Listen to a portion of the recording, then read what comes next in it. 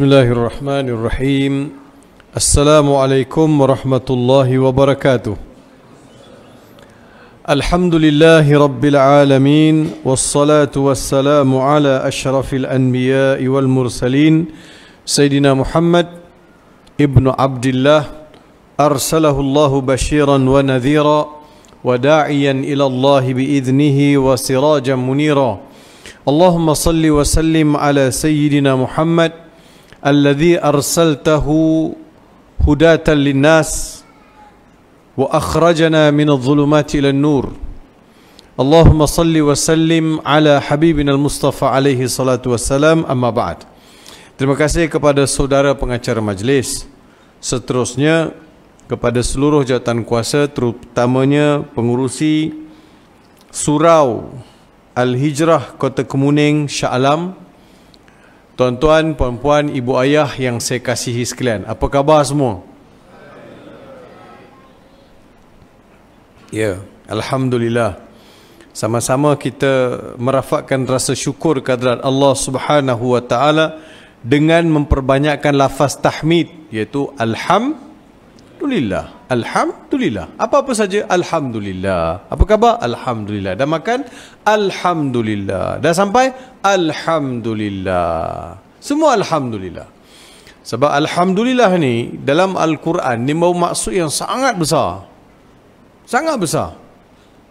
Sebab itu surah al-Fatihah itu sendiri kita mulakan dengan lafaz tahmid yang mana Allah Subhanahu wa taala suruh kita baca uh, surah al-Fatihah sebagai rukun dalam setiap rakaat solat. Solat itu sendiri dia mesti perlukan kepada surah surah al-Fatihah. Mulanya dengan alhamdulillah. Maksud alhamdulillah, alhamdu dalam bahasa Arab membawa maksud pujian. Segala puji, pujian. Dan pujian ini kita tahu membawa maksud terima kasih lah. Kita tak puji seseorang kalau orang tu tak buat benda baik. Biasa kita akan puji bila orang buat benda baik. Kita nak cakap dia itu baik. Besar manfaat dia pada saya. So saya cakap Alhamdulillah. Saya sebut Alhamdu. Lafaz Alhamdu adalah gambaran kerana memberi satu ungkapan yang diucapkan menggambarkan besarnya pemberian awak pada saya. Dalam masa yang sama di dalam Al-Quran ada kalimah lain yang seangkatan dengan dengan alhamdu iaitu asyukru. Syukran asyukru. Qalilum min ibadi syakur. Allah sebut syukura syakirin. Jadi Allah sebut perkataan syukur syakar syukur syakir syakara. Semua itu membawa maksud terima kasih. Direct terima kasih tapi Allah tak jadikan pangkal surah Al-Fatihah itu dengan lafaz asyukru. Kalau tukar dia jadi asyukru lillahi rabbil alamin. Antara alhamdu dengan asyukru dalam Al-Quran, bilangan asyukru lagi banyak daripada alhamdu. Lagi banyak. Tapi kenapa Allah pilih alhamdu? Sebab asyukru dia berterima kasih kepada sesuatu perkara tanpa melihat kepada aspek-aspek yang lain. Contoh, katakan pengurusi datang, Ustaz silakan uh, sebelum mula ceramah, saya tuangkan air untuk Ustaz. Dia pun tuangkan air dalam cawan. Nanti Ustaz minum ya. Sebagai tanda budi bahasa saya pada orang yang tuangkan air, cakap apa? Terima? Terima kasih. Dalam bahasa Arab, syukran. Betul kan? Saya cakap terima kasih kepada orang yang tuan, tuang air. Betul kan? Adakah saya berterima kasih kepada Tuhan yang turunkan air? Tak. Sebab dia hanya tuangkan air saja. Yang turunkan air itu Allah Subhanahu Wa Taala. Tapi bila saya ambil air itu saya minum, saya disunatkan sebut alhamdulillah. Bila saya sebut alhamdulillah, saya berterima kasih kepada Tuhan yang turunkan air hujan daripada langit. Air itu tertakung di atas perut bumi. Datang orang pandai, dia ambil air itu, dia pergi suling, dia pergi filter air itu. Kemudian air itu dimasukkan dalam botol, kemudian sampai kepada saya. Proses itu air itu sepanjang-panjang daripada turun dan proses sampai ke saya tu, saya tak terima kasih lagi. Bila saya minum, saya sebut Alhamdulillah, semua itu covered. Nampak tak? Nampak tak? Okey. Hari ini berapa ramai yang dah berterima kasih atas nikmat mata boleh melihat? Angkat tangan. Berapa ramai yang dah berterima kasih kerana kaki boleh berjalan? Berapa ramai dah berterima kasih hari ini mulut dia boleh bercakap? Telinga dia masih dengar? Mata dia masih boleh berkedip-kedip? Berapa ramai? Tak ramai. Tapi bila saya sebut Alhamdulillah, dalam itu ada semua yang Tuhan bagi, saya cakap terima kasih. Sebab itu, dia secara compulsory, secara wajib saya sebut Alhamdulillah dalam setiap rakaat so, solat. So 17 kali lah saya sebut kalau 17 rakaat satu hari. Subuh 2, Zuhur 4, Asar 4, Maghrib 3, Isyak 4. So 17 kali saya sebut setiap hari Alhamdulillah. Tanpa uh, kira solat-solat sunat yang lain. Jadi besar atau tidak maksud Alhamdulillah? Besar. Besar. Sebab itu dia kena ada feel masa sebut Alham. Alhamdulillah. Mesti sebut Alhamdulillah. Terima kasih itu rasa dalam tu rasa. Rasa pada Tuhan yang bagi tu dapat rasa.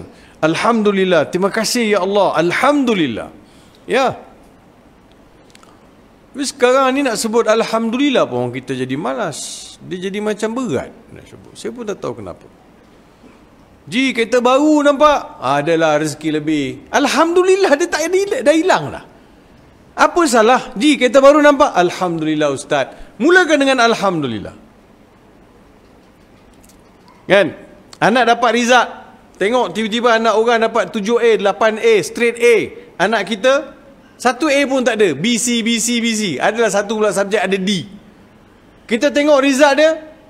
Cakap apa? Cakap apa? Alhamdulillah.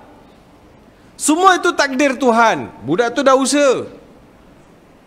Kalau dapat straight A, kakak lagi belajar kalau pandai sangat nak tengok. 7B 2C Alhamdulillah sayang Tak apa Okey cantik dah It's okay Never mind. Orang kita dan anak kita semua pandai. Kalau semua pandai Siapa nak jaga makcik masa tua?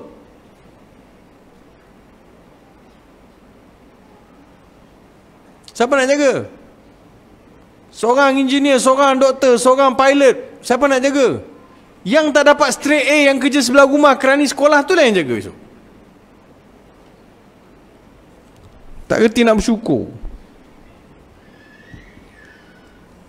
Ya, beletih manusia ni. Setiap hari kita tengok. Dia suka sangat benda macam tu. Dia tak nampak yang hikmah Tuhan tu.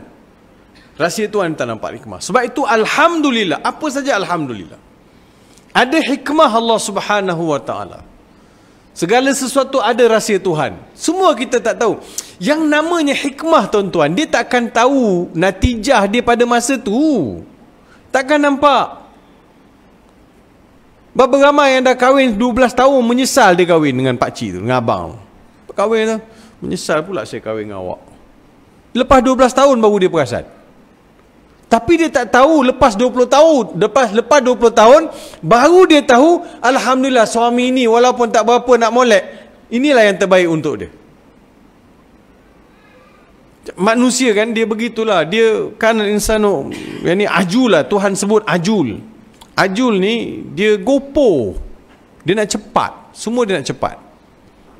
Wi, dia dalam Islam begitulah sifat dia. Bila saya sebut alhamdulillah, untuk menzahirkan sifat syukur pada Allah. Lihat Nabi Muhammad sallallahu alaihi wasallam. Pernah Nabi Muhammad merungut sepanjang hayat baginda ada pernah merungut? Tak pernah merungut. Awal-awal diangkat menjadi rasul pada masyarakat jahiliyah. Sikapnya ganas masyarakat tu. Bunuh anak perempuan, mak berhala mengata-gata. Lepas tu yang makan haram, riba, arak, yang kuat menindas yang lemah, semua ada. Nabi SAW one man show nak betulkan masyarakat. Ingat senang tak? Susah. Kalau pergi dalam sesebuah sesebuah negeri tu, negeri tu kuat makan rasuah. Seseorang nak berjuang supaya orang tak makan rasuah. Ingat senang ke? Sebab dia sebut the bad habit never die. bad habit never die. Kalau you dah biasa makan rasuah sampai ke tua you akan makan rasuah. Nak kata nak taubat tu memang daripada 10 tu boleh pilih beberapa orang saja. Saya berani sebut sebab kita ada buat kajian. Yang berulang-ulang ambil rasuah ni bukan seorang dua. 75%. Kemudian pergi pula penjara yang sudah disabitkan duduk dalam merengkot dan penjara sebab sebab kesalahan rasuah. Tanya balik, bang, kalau abang balik keluar-keluar ni dibagi jawatan pangkat dan duduk dalam department procurement, perolehan, datang ada peluang untuk makan rasuah, yang ambil lagi tak? Ambil dia. Satu nafas dia jawab, ambil. Ha, dia cakap apa? That means the bad habit never die. So nak beritahu bukan senang Nabi Muhammad nak betulkan masyarakat. Tapi Nabi tak merungut. Nabi ada bantah dengan Tuhan. Nabi kata, eh wahai Tuhan, takkan seseorang hantarlah lima enam orang lagi. Tak, Nabi seseorang eh, betulkan masyarakat. Sabar. Sebab itu enam tahun Nabi buat dakwah sembunyi-sembunyi. Jumpa orang tu, jumpa orang ni. Yang ada potential candidate lah kata orang kan. Jumpa orang ni, bisik-bisik cakap. Jumpa, cakap. Okey nampak dah mula ikut. Ah, Bilal bin Rabah kemudian Abu Bakar beberapa orang sahabat kumpul kekuatan. Dah berbelas orang baru Islam turun pula ayat wa anzir ashiratakal aqrabin dalam 6 tahun baru berapa orang masuk Islam? Eh Muhammad sampaikan dakwah secara terbuka. Bukan senang? Sedangkan tuan-tuan Nabi bukan bawa agama baru kepada orang Arab Quraisy. Agama Islam already exists. Dalam masyarakat orang Arab, Islam itu sudah ada. Sebab, eh, kalau Abu Jahal, Abu Lahab, Abu Sufyan semua tengok Kaabah, dia, dia bila tengok Kaabah, dia akan ingat apa? Tengok Kaabah, dia akan ingat apa? Dia akan ingat Ibrahim, alaihi salam. Nabi Ibrahim itu siapa? Bukankah Nabi dan Rasul mengajak manusia untuk menyembah Tuhan yang satu? Habis, Takkan Abu Jahal tengok Kaabah tu dia tak tahu Nabi bumi ni bumi Nabi Ibrahim, Islam. Allah Tuhan yang satu. Tahulah. Habis dia rasa dah tak syak berapa syok lah agama Ibrahim. Dia nak agama baru. Tuhan ni dia nak minta biar dia nampak dengan mata kepala. Sebab itu orang Arab, Allah Taala beritahu, "Wala in sa'altahu man khalaqas samawati wal ard la yaqulunna Allah." Eh Muhammad, kalau kau tanya kepada mereka, siapa jadikan langit, siapa jadikan bumi, mereka akan jawab Allah. Siapa Abu Jahal, Abu Lahab, dia akan jawab Allah yang jadikan langit dan bumi. Habis kau sembah Lat, Uzza, mana yang 360 berhala ni dengan pelbagai rupa dan paras. Bentuk yang ni kau sembah untuk apa? Liqarribuna ila Allahi zulfa supaya dia boleh jadi perantara. So you sendiri tak ada confident yang Tuhan akan bagi pada you kalau you minta. Ini yang jadi kaum kita ni. Yang pergi minta dekat kubur. Siapa aja? Minta dengan Tuhan terus. Apa masalah? Al-hunaka hijab bainaka wa bainallah. Adakah di antara saudara dan saudari hijab yang menghalang daripada mengangkat tahan, tangan minta dengan Tuhan? Apa yang menghalang? So you sendiri tak confident you boleh you boleh terus berkomunikasi dengan Tuhan you. There's a problem. Isunya akidah. Isu kepercayaan. Betul tak? Betul atau salah? Kenapa you nak bergantung pada tangkal? Kenapa you nak bergantung pada orang tu? Kenapa you nak bergantung pada objek dan sebagainya? Tell me. You sendiri tak confident pada Tuhan. Kalau you confident, you saya percaya atau tidak boleh berjalan atas saya. Sebab you confident, Allah will protect you. Apa nak jadi jadi? Tuan-tuan lihat Nabi masa berada dalam gua Hira, dalam gua Sur. Berapa dalam gua Sur tu? Seorang boleh duduk, seorang kena baring. Dua-dua tak boleh duduk, dua-dua tak boleh baring. Ratusan orang kafir Quraisy datang, nampak atau tidak Nabi Muhammad? Tak nampak. Because Allah protect you. Allah beritahu, Inna Allah yudafi'u anil ladhina amanu. Allah beritahu siap. Aku akan protect orang yang beriman. Orang-orang beriman, you jangan pandai-pandai nak dekat dengan dia. I will protect. Sebab itu Nabi Muhammad sallallahu alaihi wasallam lepas menyampaikan risalah Islam secara terbuka. Nabi beritahu, Nabi nak solat depan Kaabah. Nabi akan mula solat depan Kaabah. Nak jadi apa? Jadilah. Abu Jahal beritahu, kalau besok Muhammad menghampiri Kaabah, aku akan penggal leher dia. Siapa cakap? Abu? Abu Jahal. Dia bagi warning. Dia rasa dia kabilah besar kan? Dia kata Muhammad, kalau Muhammad datang dekat Kaabah besok, aku akan penggal leher dia. Dia dah bawa pedang dah. Tunggu. Jadi guard kanan kiri kanan kiri macam Gorka. Nabi Muhammad datang solat. Kenapa Abu Jahal tak boleh pergi dekat? Tak boleh sebab Allah protect Nabi Muhammad. Dia nak pergi dekat tak boleh. Orang tanya dekat Abu Jahal lepas tu. Eh Abu Jahal, kau cakap kalau Muhammad datang besok kau nak penggal leher tu Muhammad solat elok je kau tak boleh buat apa-apa. Aku pun tak tahu macam mana aku tak boleh dekat dengan Muhammad. Aku tak boleh pergi ada benda menghalang. Bila selidik-selidik balik, Jibril alaihi salam ada di situ. Jibril beritahu hadis ini oleh Ibn Sa'ad, dia kata, Jibril beritahu, Jibril beritahu, kalau pada hari tersebut Abu Jahal melangkah ke depan satu langkah, nescaya musnahlah Abu Jahal itu dimusnahkan oleh Jibril alaihi salam. Siapa yang protect?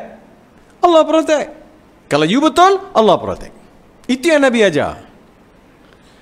Tapi bila you hilang confident dengan Allah, Disitulah saat ketiga bermulanya masalah.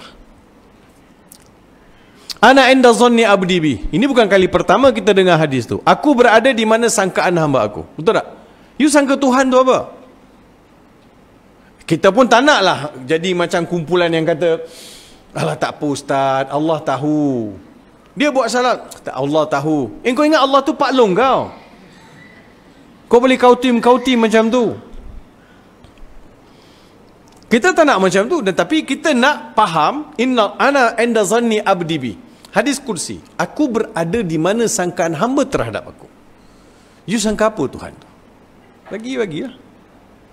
Yakin Tuhan akan bagi. Tapi bagi ini, bagi persepsi manusia pula, dia kalau bagi mesti nak di dunia. Tuhan tetap bagi. Yang ibu ayah minta, yang abang berdoa, yang maklum kak kak Jah, kak Su kat belakang berdoa, macam-macam doa yang Allah tak bagi, kita bagi kita tak bagi tapi Allah tetap bagi. Sama ada bagi di dunia ataupun disimpan untuk di diberikan di akhirat kelak. Tuhan tak kata tak ada kepada orang yang minta dengan betul. Yang janji-janji ada besok datang tak ada tu orang kita manusia. Tuhan tak ada macam tu. Innallaha la yukhliful mi'ad. Hmm. Jadi tuan-tuan Nabi Muhammad ajar arti akidah. Sebab itu saya beritahu pertama sekali lihat dakwah Nabi Muhammad di Mekah macam mana Nabi berjuang untuk membetulkan perkara yang paling mustahak iaitu akidah kalau kita sambut Maulidur Rasul tapi kita tak bawa bagaimana konsep kepercayaan keimanan yang Nabi wasallam perjuangkan untuk di, dimasukkan dalam penghayatan kehidupan kita ni tuan-tuan. Kalau kita gagal faham apa yang tinggal? Tuan-tuan cuba lihat. Kitab apa Bilal bin Rabah baca? Selepas tiga bulan orang seksa dia dia sanggup mati kerana Islam. Kitab apa dia pakai? Apa silibus yang Nabi ajar dekat dia tuan-tuan?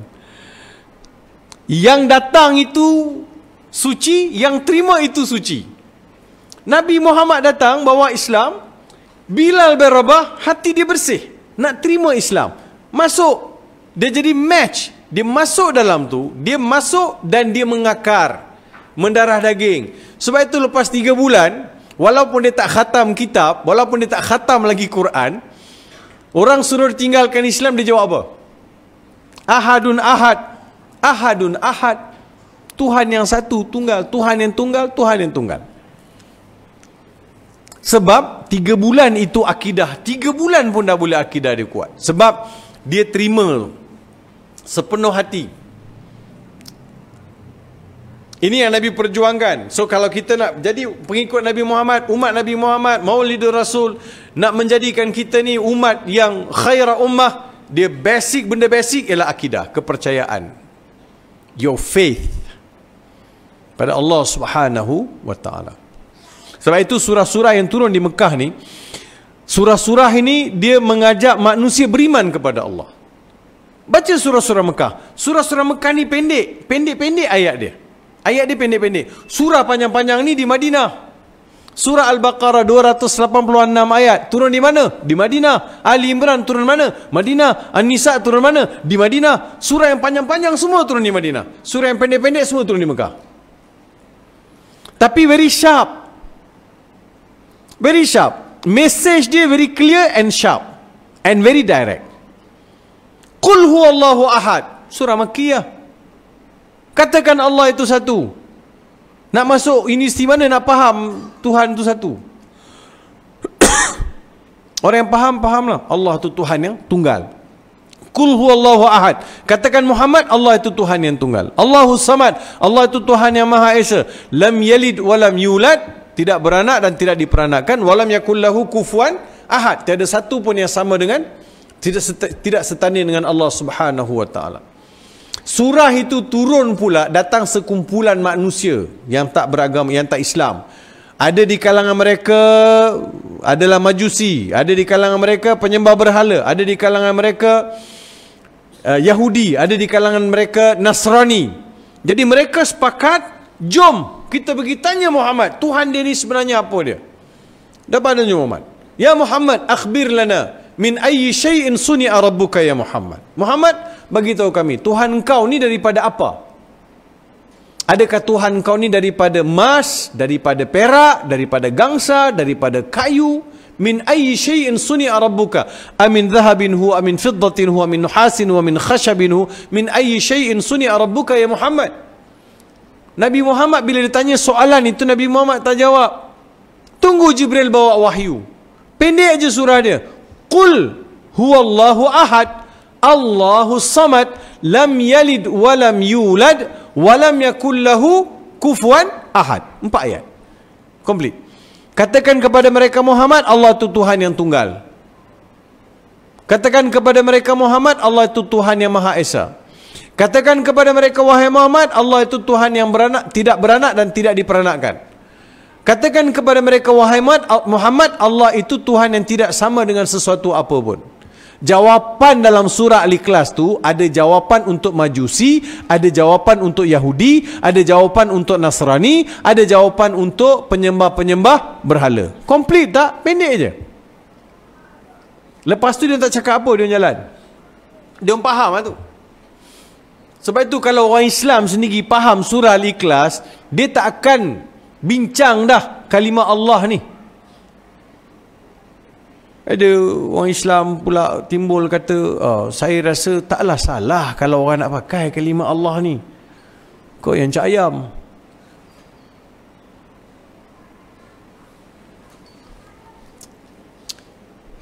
Salah konsep. Kononnya kita nak lunak-lunak nak ajak orang masuk Islam.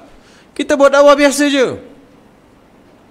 Hidayah ni kerja Tuhan. Tak payah engkau downgrade Islam nak tunggu orang terima Islam. Tak payah. Islam tu ada level, Islam tu ada izah, Islam tu ada di kelas dia sendiri. Jaga yang itu orang akan ikut Islam.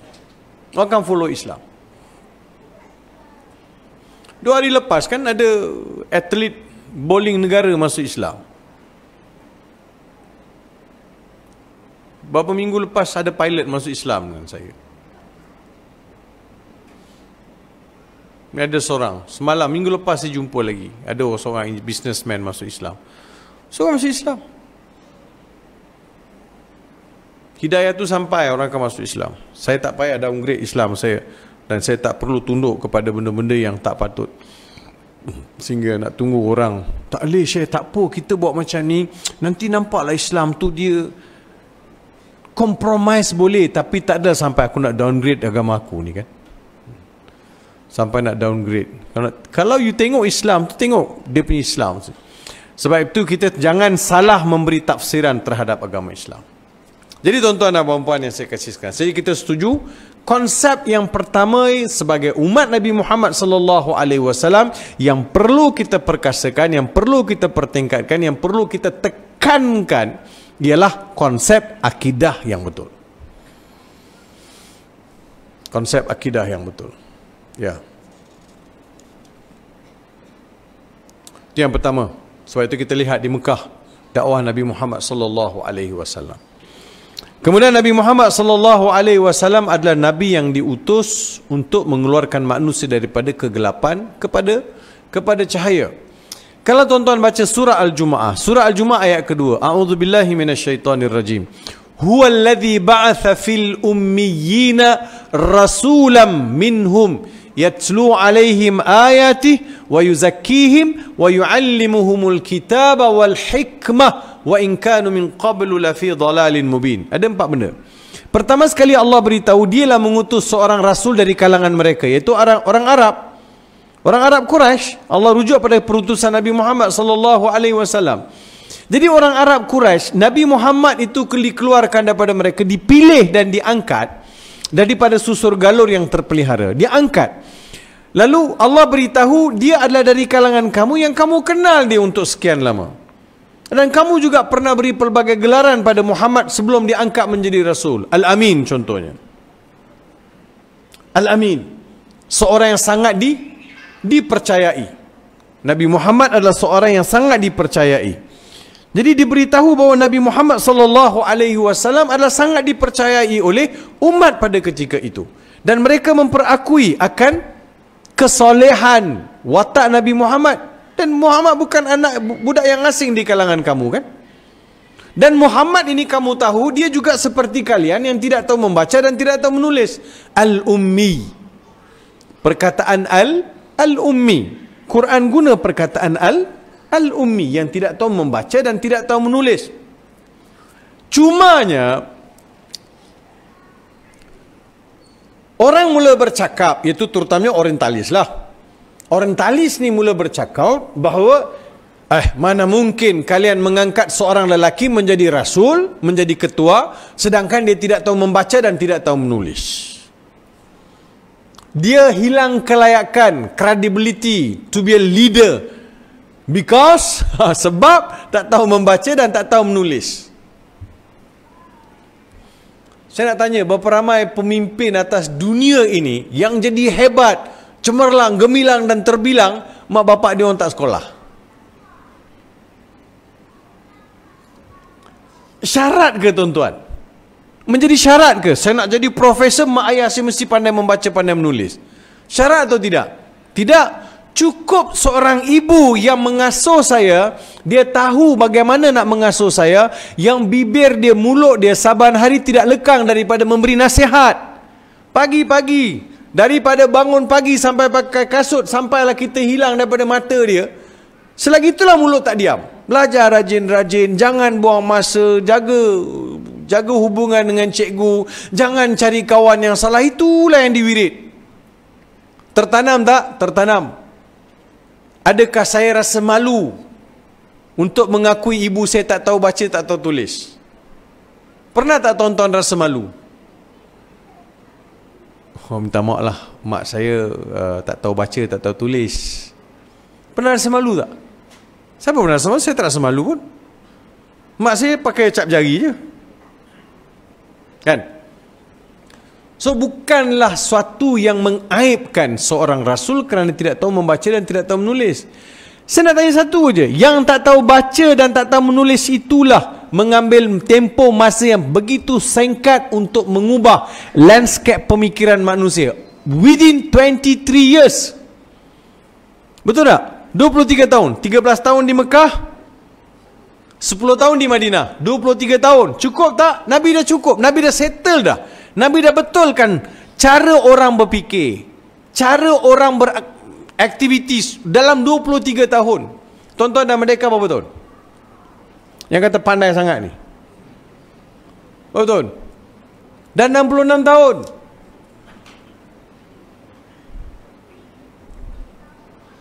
Indeks jenayah masih meningkat. Buang anak masih ada. Sumbang mahram lagi ada. Betul tak? Dadah ada. Rasuah ada. Semakin jahiliah jadi.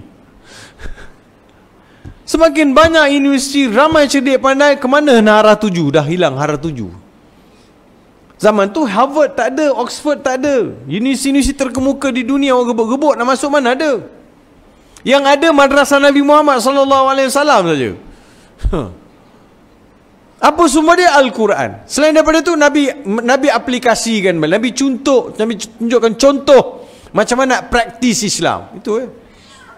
Yang semua dia faham. They are fast learner. Ya. Yeah. Kita hari ni masih dalam bab agama masih tanya soalan-soalan yang remeh-temeh. Saya ambil wudu ustaz, muka ni kan anggota wudu betul. Dalam mata anggota wudu tak? Kau tak ada benda lain nak tanya soalan? Dah besar panjang tanya soalan-soalan meripik ini. Baik anak saya tanya soalan saya tak boleh jawab. Anak saya tanya umur tujuh tahun dia tanya bah kiamat ni untuk apa bah? Kiamat ni lah semua nak hancur untuk apa? Kita nak jumpa Allah. Kononnya abah punya jawab jawapan paling kelas lah. Kan kiamat semua berlaku ni kita nak jumpa Allah. Oh kena kiamat dulu baru jumpa Allah. Ya. Eh bukankah Allah tiap hari tengok kita? Kenapa Allah jumpa lagi? Jawab apa? Eh, tak baik cakap macam tu nanti Allah marah. Sebab itulah kita tak anak-anak kita tak bersoal jawab bab agama dah dengan kita tuan-tuan. Sebab kita dia konsep kan, konsep.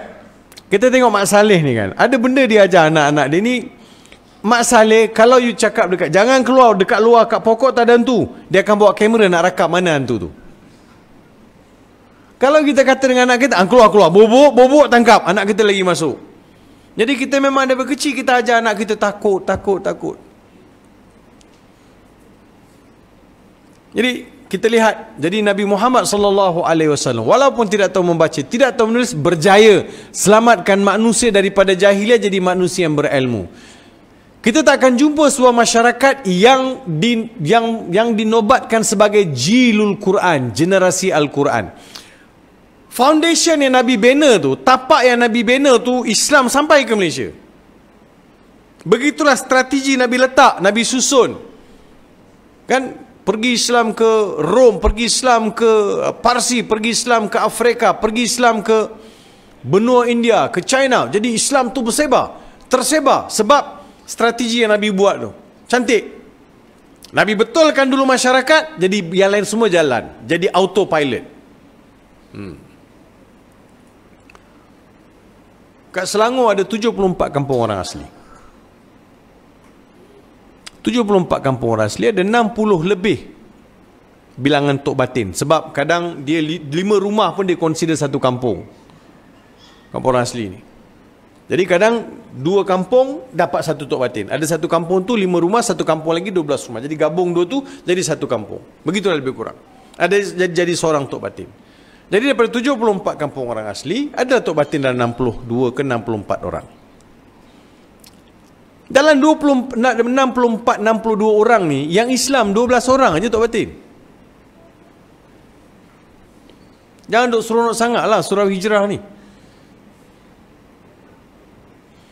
Oh, senang ha. Nanti Ustaz Farid, balik-balik Ustaz Farid kena soal, letih ha. Nanti saya akan sabitkan, saya kata, Tanya juga surah Al-Hijrah kota apa ni tu. Kota Kemuning tu. Dia untuk syok sangat. Kalau surau masjid di negara kita ni dia fikir dakwah tuan-tuan banyak benda selesai. Tuan-tuan balik-balik kolek duit nak besarkan surau. Kolek duit besarkan surau. Tambah aircon, tukar kapet. Tu je lah balik-balik. Yang kerja dua ni yang kampung orang asli dekat Selangor, negeri yang maju ni ada banyak tanggungjawab kita. Bila kita nak buat. Mana pamphlet-pamphlet, mana program-program ziarah orang yang bukan agama Islam untuk sampaikan Islam. Eh besok kita semua kena tanya tuan-tuan. Orang balik-balik tanya kat saya. Orang tanya kat saya, Ustaz adik-beradik berapa orang? Lima orang. Yang masuk Islam berapa orang? Seorang.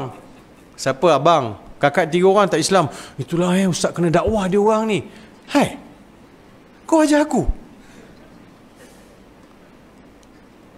Saya tahulah saya, saya dakwah dia orang ni. Dia, dia nampak macam saya seorang aja kena buat kerja dakwah. Tapi orang lain semua. Buat apa? Kenalah turun sama-sama buat dakwah. Jatuh kuasa masjid, surau kena fikir sama-sama lah. Cuba cari NGO, cuba cari. Kan? Kenal, pergi ke Jabatan Agama ke Kan tanya, eh kami nak buat program dakwah, boleh suggest. Ini tak jauh daripada sini, ada kampung asli ni belakang ni, betul kan? Halo? Cijibu tak tahu pula. Saya ingatlah tuan-tuan sebab dua tiga kali saya pernah masuk kampung asli belakang ni kan. Jalan jalan lebih kurang sama. Sesak-sesak kan. Nampak tu saya ingat lagi. Ha betul lah. Dia jalan ni kalau depan sikit tu jalan pergi banting apa benda bagai. Betul? Ha. Tiga empat kampung orang asli dalam tu saya pergi. Kalau saya duduk bandar Seri Putra, saya kena soal lambat sikit. Tuan-tuan dekat lagi. Tuan-tuan kena soal dulu.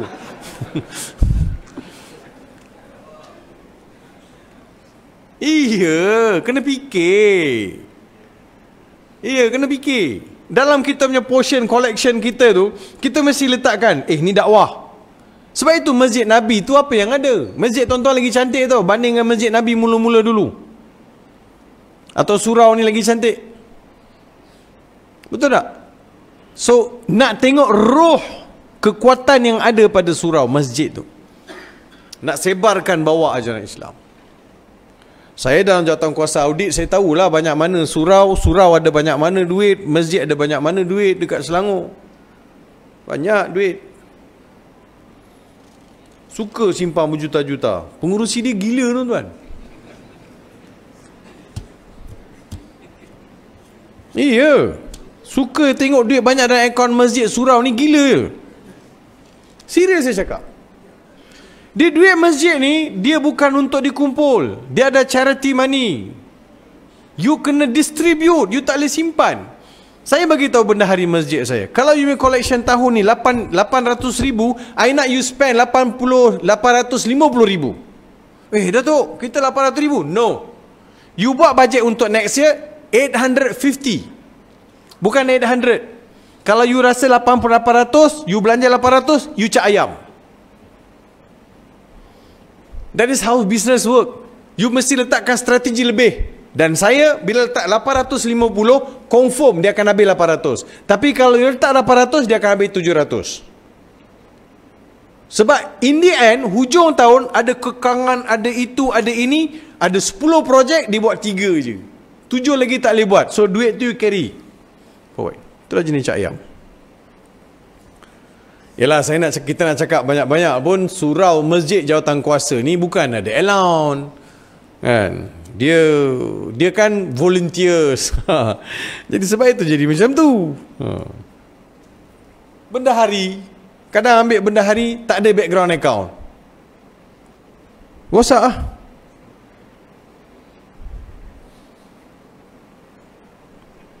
Weh, kena ke? Sorry lah, saya tak maksud siapa-siapa tuan-tuan. Kerana Allah punya hikmah ni suruh saya cakap, kadang dia nak suruh cakap kan. Tak ada siapa fit saya apa-apa maklumat. Terima lah sebagai satu nasihat daripada saya. That is, itu aja. Tak ada, no, no hard feeling tuan-tuan. Benda betul, kita bagi tahu. Itu aja. Nak buat account susah, nak submit account susah. Hmm procurement tak boleh nak buat. So sebab itu dia tak ada strategi. Kita ada unit dakwah biro dakwah. Macam ni nak kembangkan. Jadi nak kena fikir. Ni masyarakat Islam. Surau ada data tak? Di Korea surau kita ni ada 500 buah rumah. Daripada 500 buah rumah ini 470 rumah orang Islam 30 rumah tak Islam. So 470 ni ada tanggungjawab. Ke, ke atas 30 buah rumah Islam yang bukan Islam tadi tu. So macam mana you nak buat? Apa strategi kita? Kita kena visit, kita kena cakna, kita kena tahu. Ada majlis, eh, kita boleh invite ke rumah kita. Ada majlis tertentu, boleh invite. Jadi, so apa? Ada buku, ada pamphlet, ada brochure. You kena ada semangat, you kena fikir, dakwah. Sambut maulid Nabi ni tuan-tuan Bukan sekadar makan pulut kuning habis gitu ke Itu tak tahu tuan-tuan buat makan biryani. Maulid Nabi makan biryani. Tanya sembelih kambing tak? Bukan sini tempat lain. Ha, Tuan-tuan jangan susah hati. InsyaAllah malam ni makan mihun. Mihun pastikan ada telur dadah lah. Malam ni makan apa? Mihun. Makan apa Pak Ji? Nasi. Mana dong makan nasi malam Pak Ji? Jadi standard surau ni bukan nasi ni. Wagyu. Tuan-tuan, jadi cuba kita fikir. Saya lontarkan beberapa idea begitulah. Ya. Jadi Nabi Muhammad tidak tahu membaca, tidak tahu menulis. Tetapi berjaya keluarkan manusia daripada kejahilan. Manusia pada zaman sekarang ada ilmu pengetahuan, faham banyak benda, tapi bawa kepada kerosakan. Mana lebih hebat? Yang tak pernah sekolah, tak masuk universiti, mengubah masyarakat ataupun yang masuk universiti tapi curi duit rakyat? Mana lebih hebat? Cakap dengan saya. Saya kalau buat rasuah ni memang saya rasa macam marah sangat. Buat rasuah, curi duit. Sebab saya bayar income tax apa? Zakat saya bayar income tax bayar. Jadi rupanya income tax saya bayar pun ada orang curi juga on the way. Betul tak? Rasuah. Orang saya tak salah rasuah ni tuan-tuan ni Cakaplah haram. Rasuah ni haram. Tak boleh. Berdosa besar. Ada dia rasa apa-apa? tak rasa apa-apa. Sebab dia kata kalau dah termakan, kalau dah ambil rasuah 5 juta, hujung tahun ni bawa lah tiga orang budak tahfiz pergi umrah. Minta budak tu doa depan Kaabah untuk dia. Jadi dengan itu dia yakin dosa dia terhapus. Eh saya kata kau ni pakai mazhab apa? Pakai masa apa kau nak apa dosa curi duit orang, duit rakyat, duit negara ni kau nak tebus-tebus macam tu? Kau masuk kubur lah kau nak tahu besok apa jadi. Tunggu-tunggu. Yang kaya-kaya, eh korun bagaimana korun? Korun yang hebat. Inna mafatihahu. Kan? Korun yang kunci-kunci khazanah dia beratus ekor bawa kunci khazanah dia. Mana korun sekarang? Ha? Nanti tenggelam, dia tenggelam di bumi. Ada pula yang korek dia dapat mimpi korek belakang rumah. Cek apa? Cek harta karun. Ha karun tu dekat Mesir bukan kat belakang rumah kau. Ada yang jadi pening macam tu.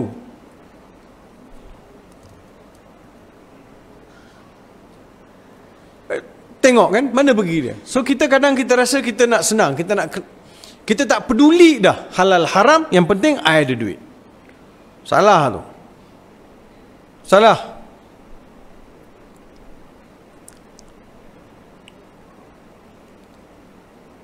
Tidak susah nak fikir rezeki halal. Rezeki halal. Saya duduk dalam banyak jawatan kuasa. Saya sebagai naib chancellor. Procurement-procurement semua kan. Saya pun ada dalam situ. Jadi, kalau you tak ada iman, you tak ada takut pada Tuhan, You tak tahu rezeki yang macam mana you nak bawa balik ke rumah, you akan mencuri lah. Itu je. Betul tak? Jawab saya, apa jadi apa ni uh, stadium Tengganu, kenapa sampai sekarang tak repair lagi? Turun-turun airport Tengganu tu, jumpa stadium yang tak ada bumbung tuan. Cakap saya. Kalau bukan manusia punya kerja, mencuri. Dalam BQ lain, dalam engineer punya design lain, arkitek lain, pelaksanaan lain. Orang kata you mesti guna 10 kampek simen, tapi kau guna 6 aja. Empat lagi kau songlap. Takkan orang pergi duduk situ kira berapa berapa kampek simen orang bancuh. Tak ada kan? Yang runtuh. Sebab itu kat Malaysia sampai sekarang tak boleh buat dah loji nuklear. Nak bagi kat kontraktor ni semua. Memang tak ada tuan-tuan. Kalau ada kontraktor dalam ni minta maaf saya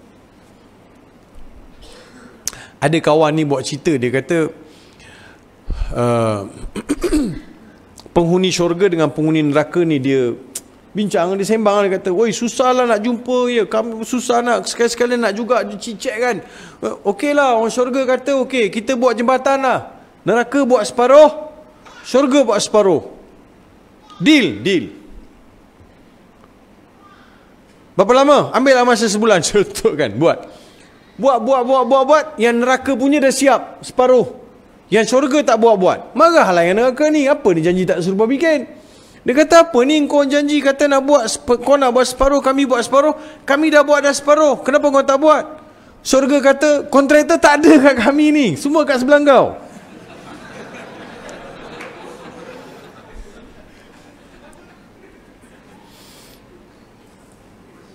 Marah kontraktor dengar statement ni Sorry lah bang, bukan abang. Abang datang masjid abang baik bang, datang surau kan. Takkan datang surau lagi nak menipu buat kontraktor kan. Agak-agak ah.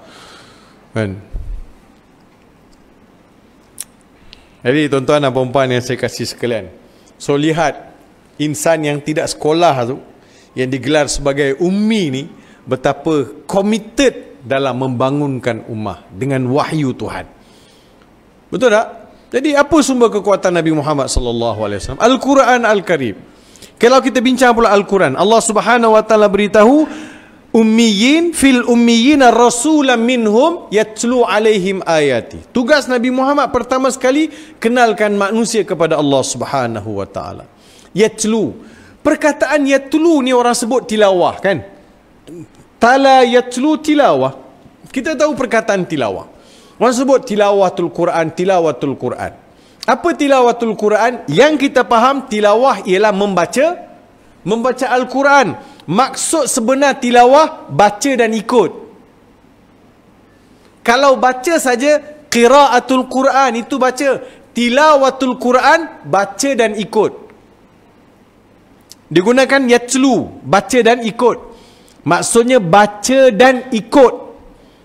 Wasyamsi waduhaha wal qamari idza talaha. Allah beritahu lepas itu mesti berlaku sesuatu. Lepas baca ada perubahan. Lepas baca praktikal. Lepas baca ada kefahaman. Ada tadaburnya. Yatlu alaihim ayati. Tugas Nabi Muhammad pertama sekali mengenalkan manusia kepada Allah Subhanahu wa taala ataupun betulkan mereka daripada salah mencari jalan untuk mengenal Tuhan.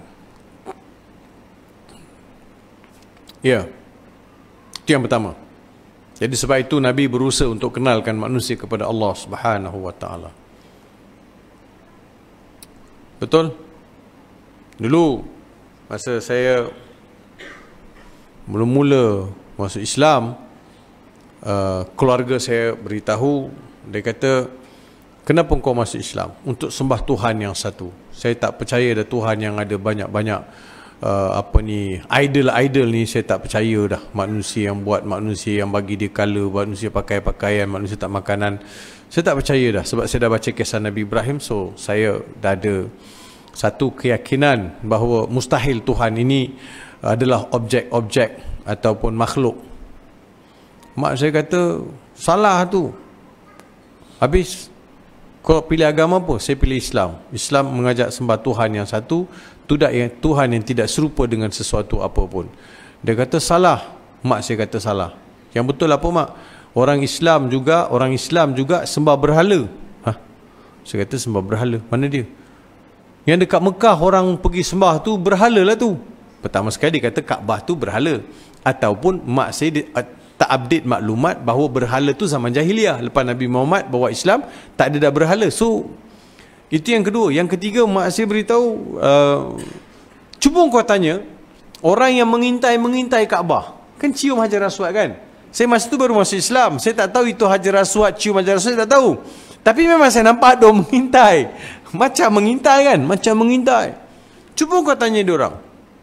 Orang mesti akan sembunyikan. Dalam yang dia mengintai, dalam tu semua banyak patung.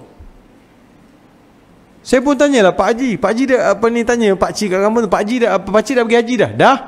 Pak Haji pergi tak tengok yang orang mengintai tu? Ha, dah. Apa dalam tu? Tak ada apa-apa. Mak saya bagi tahu kau tanya kat dia mesti cakap tak ada apa-apa sebab tak ada tidak akan ada orang yang mengaku dalam tu ada berhala.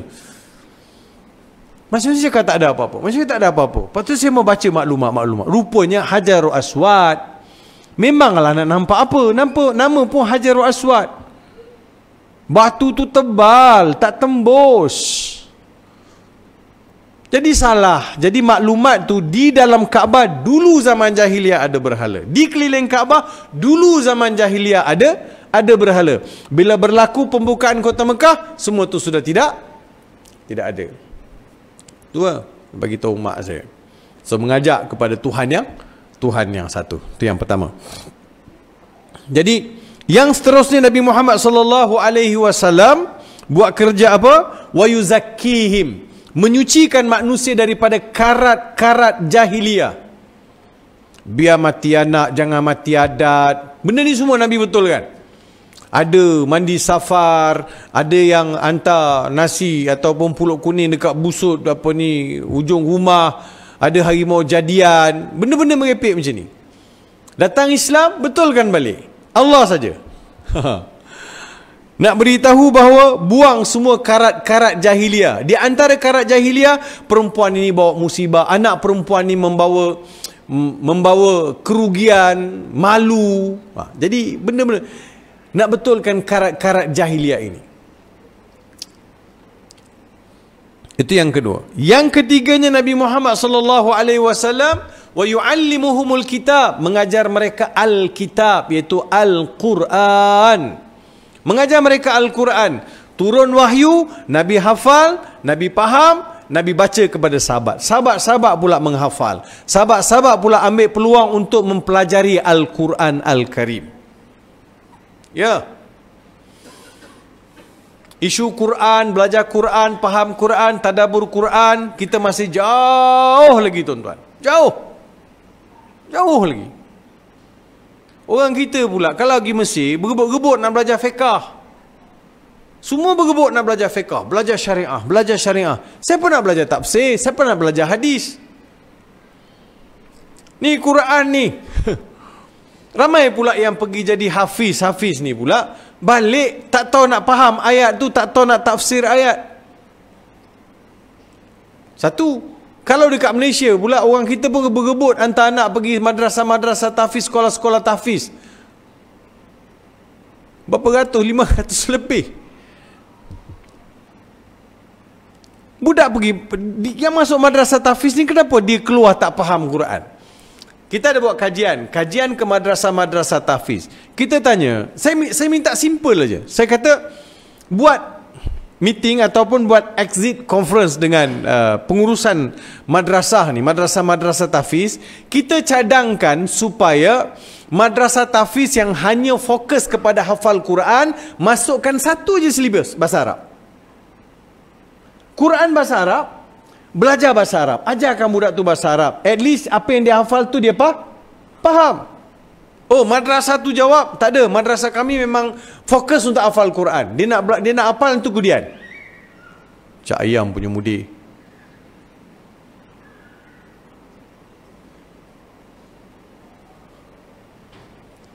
Kalau sekadar nak hafal sahaja, rugilah tuan-tuan.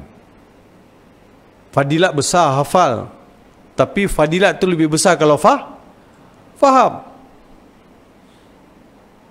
Saya contoh eh.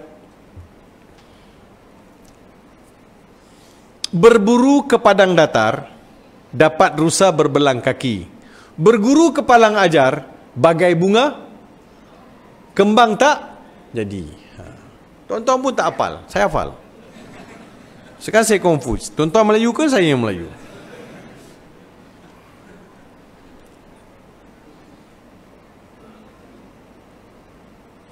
Berburu ke padang datar dapat rusa berbelang kaki. Berguru ke palang ajar bagai bunga kembang tak jadi. Cuba tafsir kat saya. Apa orang tua dulu-dulu pesan? Berburu ini mesti ke mana? Ke hutan. Yang kau pergi berburu kat padang apa pasal? Padang bola. Kalau masuk hutan, dapat rusa betul-betul punya rusa. Disebabkan kau berburu dekat padang, engkau dapat juga rusa tapi belalang. Dapat belalang tu kau anggap nampak macam dapat ru rusa. Itu dia kata dapat rusa berbelang kaki. Yang berbelang ni belalang lah. Berguru ke palang ajar bagai bunga kembang tak? Tak jadi. Baru dapat ciput tapi kau dah cakap benda besar. Itu bahasa Melayu kalau kita tak belajar dari sudut pembayangnya dan sebagainya kita pun tak faham. Apa benda orang nak ni? Al-Quran bukan bahasa saya, bukan bahasa kita pun. Tapi kita kena belajar. Kita baca, kita hafal dan kita kena belajar apa maksud yang terkandung. Dan sebab itu saya sarankan kepada madrasah-madrasah tafiz ini, masukkan silibus bahasa Arab. Masukkan. Biar anak-anak kita ni hafal Quran, belajar bahasa Arab. Cukup. You tak nak belajar subjek lain, tak apa. At least related dengan Quran. Tak nak. Tak boleh kita nak fokus hafal Quran. Itu yang dia hafal Quran bila jadi imam wakaf tidak berselerak tuan-tuan. Wakaf tempat lain, mula tempat lain. Sebab tak faham punya pasal lah. Saya memang memang nak tegur ni tuan-tuan. Quran diturunkan bukan untuk macam mana yang kau buat sekarang ni. 23 tahun Quran turun Turun beransur-ansur. Boleh je Quran turun Gedebik sekali tu kan Bam turun. Jumlatan wahidatan. Kenapa tak turun jumlatan wahidatan? Linuthabita bihi fuadak. Supaya Quran itu jejak di hati kau Dan kau faham kau boleh explain dekat sahabat-sahabat lain Supaya mereka juga faham Al-Quran. Supaya Quran itu boleh di dipraktiskan. Perlu? Tak boleh 23 tahun turun berperingkat-peringkat untuk mengasuh supaya orang faham. Kita pula ambil masa 3 tahun hafal Quran lepas tu tak faham apa yang kita hafal. Ya tuan-tuan, saya bila masuk Islam, saya belajar Quran, saya hafal, lepas tu saya pergi Jordan. Saya duduk di Jordan buat first degree, belajar bahasa Arab. Di antara punca saya pergi Jordan, saya nak belajar bahasa Arab sebab saya nak faham apa Quran ni. Itu punca. Itu punca mula-mula saya pergi Jordan. Daripada situ saya nak belajar lagi Quran, saya nak belajar lagi tafsir. Sampai PhD saya buat bidang tafsir. Masih rasa tak puas tuan-tuan. Masih rasa tak puas. Woi, luasnya Quran ni. Punyalah seronok baca Quran, faham Quran, bertemankan Al-Quran. Ya Rabbi ya Karim. Iya, tak sama tuan-tuan. Orang yang baca faham dengan orang yang baca tak faham ni.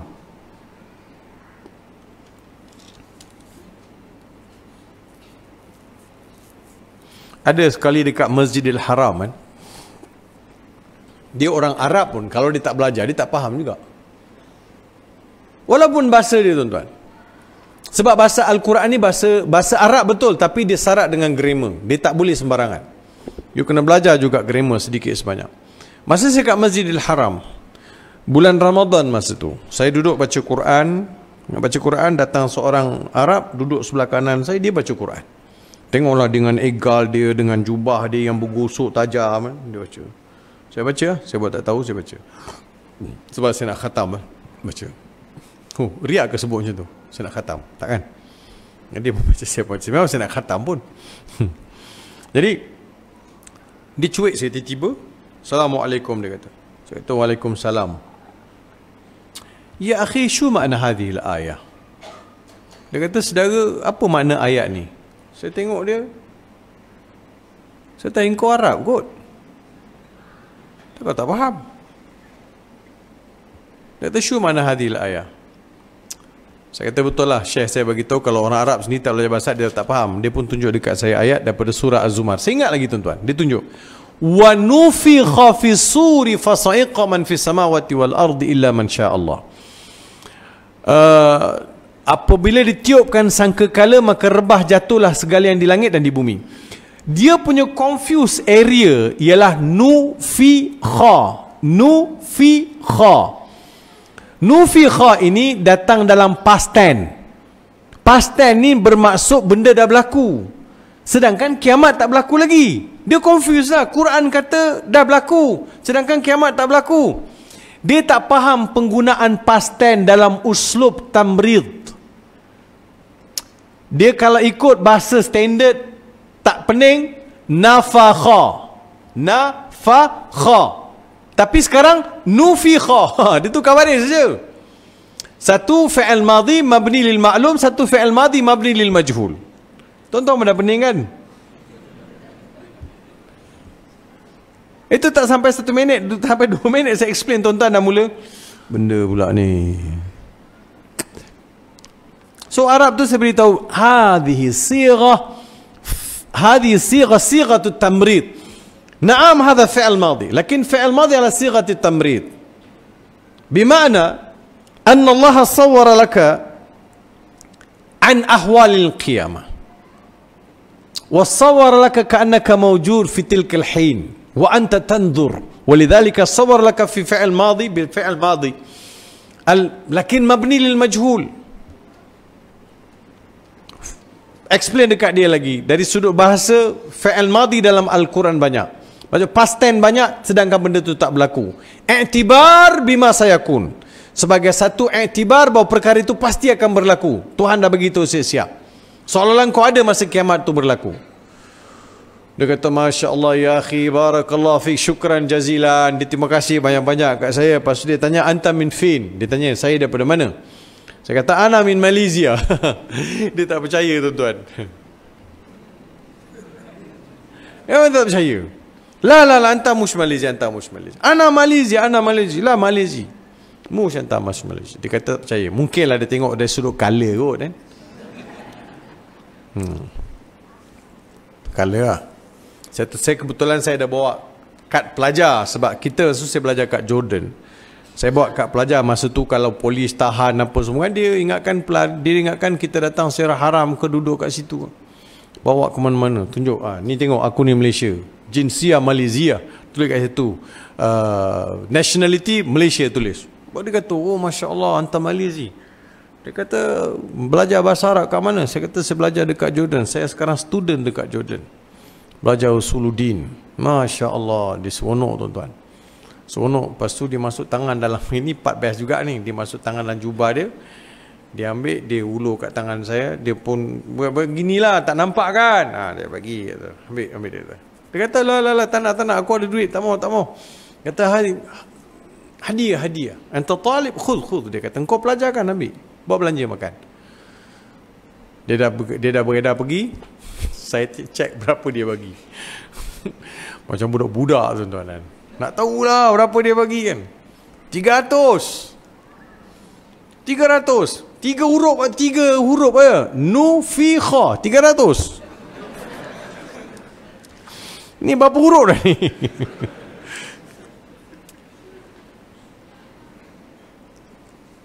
Banyak keadaan-keadaan begitu dengan Arab ni kan. Dia orang tafsir suka hati. Saya masuk, saya mencelah, saya saya betulkan balik. Yang mana saya tahu lah, saya tak kata semua saya tahu. Banyak lagi yang saya saya perlu tahu. Tapi saya rasa seronok. Sebab itu saya mengajak orang Islam di Malaysia ini untuk membaca Al-Quran dan berusaha memahaminya. Alhamdulillah minggu lepas Jaki mantap kat saya juzuk yang ke-29 Pedoman Mutakin untuk saya semak Ada satu juzuk saya kena semak Dan akan juzuk-juzuk lain saya akan semak dan sebelum ni saya dah siapkan uh, ayat-ayat kauniat, tafsir ayat-ayat kauniat. Saya fokus ayat langit dan bumi saja. Tafsir yang tu pun dah bagi dah dekat Jakim dengan tunggu nak cetak.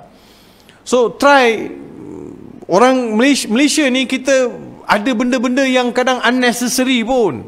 Benda-benda tak perlu pun banyak. Tapi benda yang perlu pula tak ada. Aulawiyat tu tak tahu bagaimana. Baru ni ada orang bagi sumbangan untuk kaji hutan 30 juta. Saya kata nak buat tafsir minta 5 juta. Wih banyaknya. Dia kata, ha.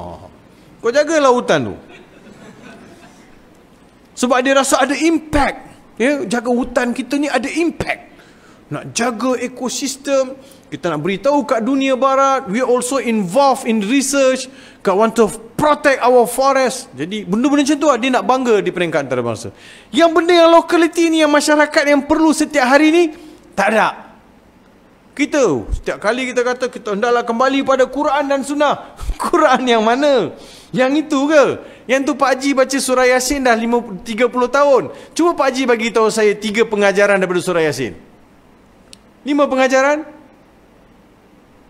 Saya bukan nak memperkecilkan tapi ini persoalan saya perlu fikir. Eh, dah 20 tahun aku baca Yasin. Apa dalam surah Yasin ni ya? Pernah tak timbul persoalan? Yang kita rebut Baca satu huruf Dapat sepuluh pahala Betul tak? Halo? Ni cakap dengan orang kan orang bunian Orang betul kan? Ya, saya kat mana ni? Ha, betul kat dunia nyata Betul tak? Ha. Kita kejar setiap urut dapat 10 pahala Tapi kita tak pernah lihat bahawa 10 pahala yang Nabi sebut itu sebagai satu langkah motivasi Hari ni rasa 10 pahala, besok 10 pahala, lusa takkan 20 tahun kita dah baca kita tak pernah terlintas. Eh, takkan pahala je apa benda ayat ni sebut eh? Apa ya? Ha. So, di mana tafsirnya tu? Kita ada tafsir Pak Hamka. Walaupun ada orang tak setuju tapi saya okey je tafsir Pak Hamka. Bahasa dia pun bahasa lebih kepada bahasa Melayu kan. Dia orang Minang. Kita ada tafsir Maraghi yang diterjemahkan ke bahasa Melayu oleh Dewan Bahasa dan Pustaka. Jadi koleksi-koleksi ni kena ada lah bagi saya. Tapi saya setuju kalau tonton ada tafsir-tafsir yang lebih ringkas. Kurang perbahasan-perbahasan yang boleh jadikan tonton boring. Kan banyak sangat perbahasan tak mau. Kita nak very direct. Tadabur ayatnya tadabur apa mesej yang ada dalam dalam ayat tersebut. Hmm. Dia kan kalau nak sebut surah Yasin ni minggu lepas saya buat rakaman tanyalah ustaz saya dah sebut. Ayat 80 tu ayat qul alladhi ja'ala lakum minasy-syajaril akhdari nara fa idza antum minhu tuqidun. Tuhan yang jadikan api daripada pohon-pohon hijau daripadanya kalian menghidupkan api. Tuhan yang menjadikan pohon-pohon hijau daripada pohon-pohon hijau itu kalian menghidupkan api. Pohon hijau api. Pohon hijau api bila saya kaji-kaji balik, ayat itu merujuk pada biodiesel. Macam mana manusia menghasilkan bahan pembakar daripada pokok-pokok hijau? Betul tak? Tuan-tuan tak berapa nangguk sebab tuan-tuan tak tuan-tuan punya konsep ialah dia mesti sebut biodiesel. Bagus aku kau percaya. Jadi kau nak ayat tu macam mana? Allazi ja'ala lakum biodiesel. Memang tak ada lah. Memang takkan ada. Sebab Fas'alu ahla zikri in kuntum la ta'lamun. Tanya pada ahli kalau kalian tidak tahu. Maksudnya siapa yang mengkaji? Siapa yang belajar? Quran ini bukan buku sains dan adalah salah kalau ada siapa-siapa yang mendakwa Quran ini kitab sains. Salah. Quran bukan kitab sains tapi sains ada dalam Al-Quran. Kalau you kata Quran itu kitab sains, sains teori dia berubah. Hari ini berubah, besok lain, tulak lain. Betul tak? Tapi Quran dia bukan begitu. Kalau begitu, Quran itu kitab sains, dia kena terima teori itu berubah. Tak, dalam Quran ada sains. Itu aja. You kajilah. Kalau berkembang sains, ada dalam Al-Quran. Itu saja. So kita nak lihat konsep Masya Allah Quran sebut Quran sebut erti kewangan Islam Quran sebut perpaduan Quran sebut kasih sayang Quran sebut hal ehwal rumah tangga Quran Quran sebut masjid Quran sebut persaudaraan Cakap buat persaudaraan kena buat topik lain. Suka sangat bergaduh, berpecah. Marah buat itu. Buat kumpulan ni, buat kumpulan. Pasu bergaduh. Cakap benda meripik-ripik dekat parlimen. Saya kan kadang-kadang fikir, Ya Allah, saya tak boleh bayang kalau saya ada dalam satu suasana yang begitu. Watak manusia. Wallahu a'lam. Hanya Allah saja yang boleh bagi hidayah tuan-tuan. Malu umat Nabi Muhammad sallallahu alaihi wasallam kalau begitu. Kita sebut Maulid Rasul, kita sebut Rasulullah SAW. Mulut yang sebut Rasulullah, mulut yang baca Quran, mustahil keluarkan perkataan-perkataan kata nista ataupun perkara-perkara yang tak baik. Tak kisahlah tuan-tuan. Nabi pesan, pegang lidah ni. Imsik hadha. Nabi kata, pegang. Man kana yu'minu billahi wal yawmil akhir falyakul khairan aw liyasmut tanda ciri orang beriman dia akan cakap benda baik saja. Kalau benda tak baik marah macam mana pun dia akan tahan lidah dia bercakap. Once you cakap benda tak baik benda buruk dia seperti cawan tu John. Jatuh ke bawah lantai berkecai. You ambil sambung balik. Mungkin boleh sambung balik. Sama tak dengan original? Tak sama. Suami isteri pun sama. Apa perkataan suami pernah lempar pada isteri? Apa perkataan isteri pernah cakap kat suami? Walaupun dah bermaafan tapi kesan tu mesti ada sebab itu bahaya, mulut ni bahaya. Tahan.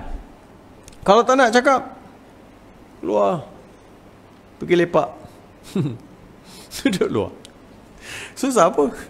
Saya kalau marah, saya ambil Quran, saya baca Quran. Cik, nampak soleh sangat kan? baca Quran, keluarlah. Keluar. Nak macam mana tuan-tuan? Takut kita pun terlepas cakap.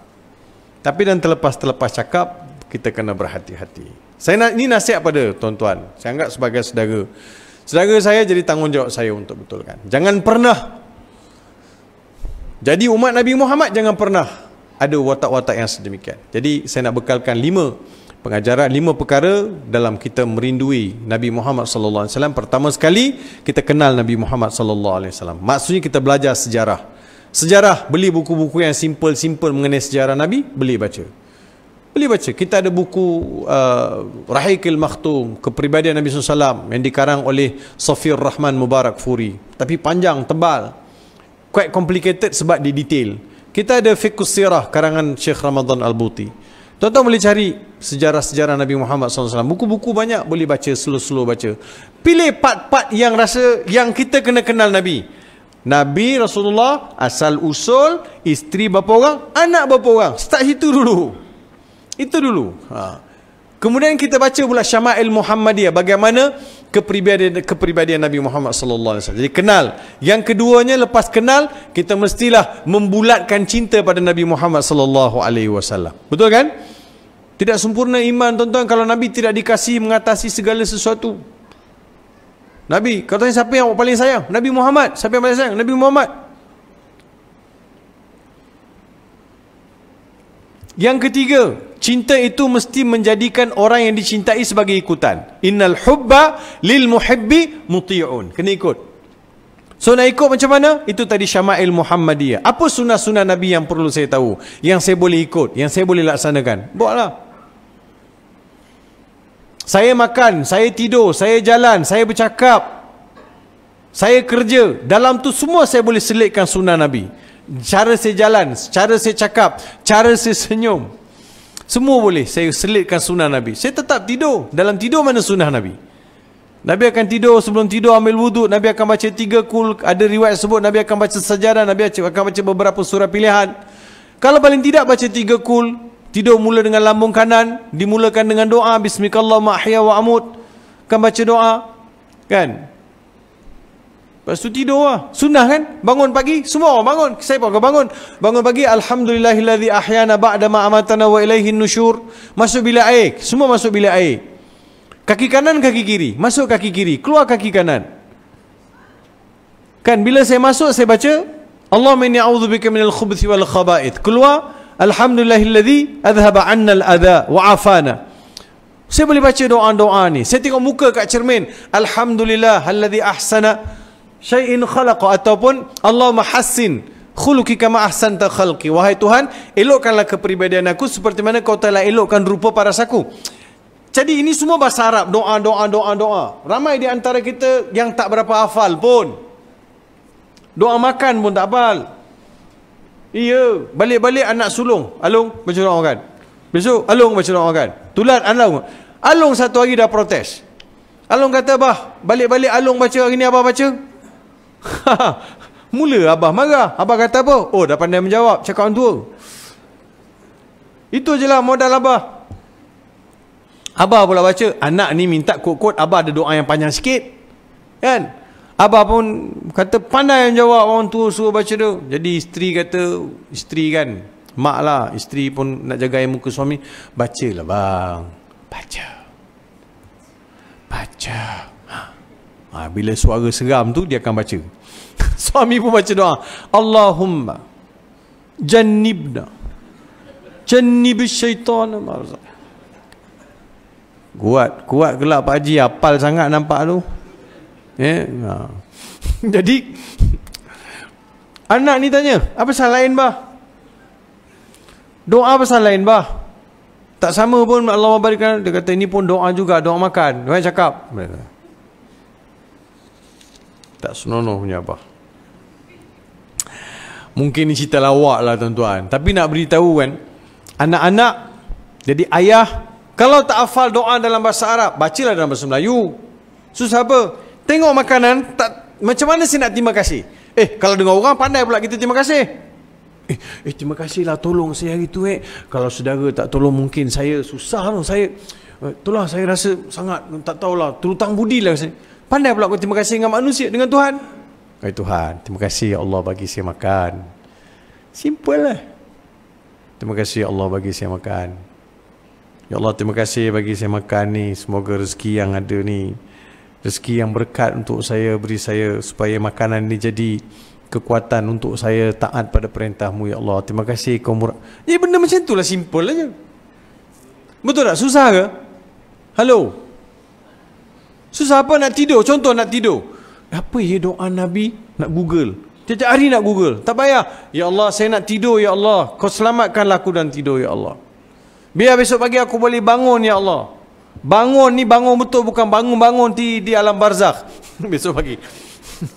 Biar bangun ya Allah. Baca doa. Tengok muka kat cermin. Apa ya doa Ustaz Farid sebut Allahumma hasana apa benda? Tak payah.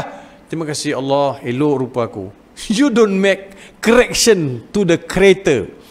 Jangan you nak cuba betulkan apa Tuhan dah jadikan. Tengok. Alah, kening ni.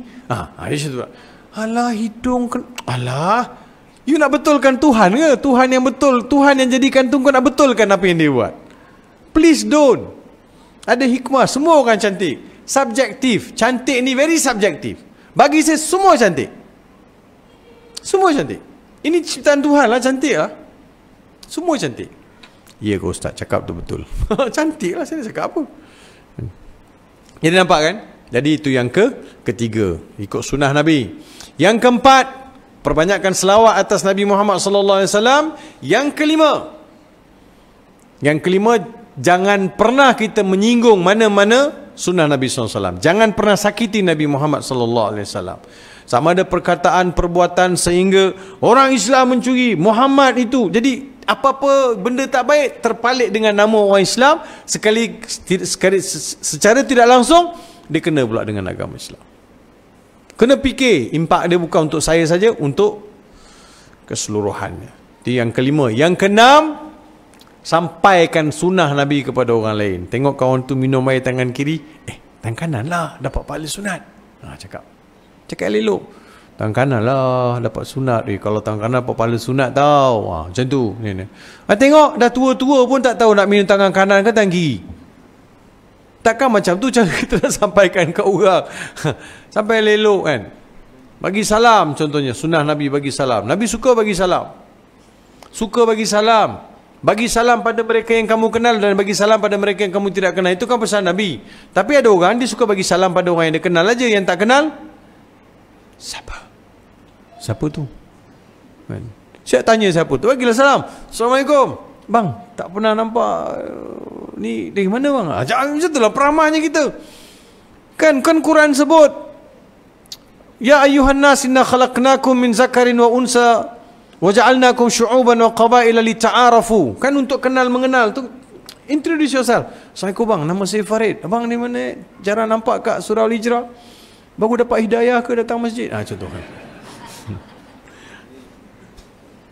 Janganlah macam tu ayat ayat gurau saya je kan. Cuma macam itulah kita nak ta'aruf. Salam.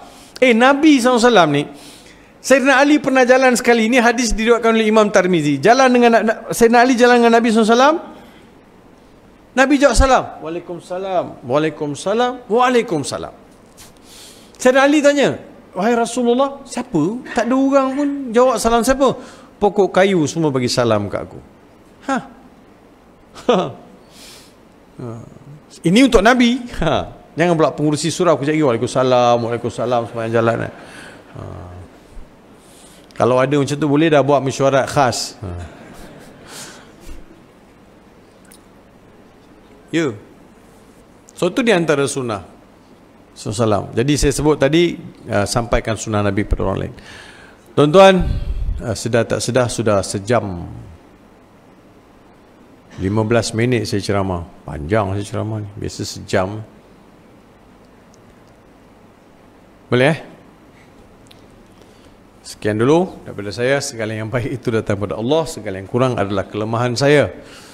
Uh, Mudah-mudahan ada umur yang panjang Bertemu dalam majlis-majlis yang lain Doakan saya Terus supaya saya terus istiqomah Buat kerja dakwah buat kerja-kerja dakwah kepada pada yang Islam dan yang tak Islam.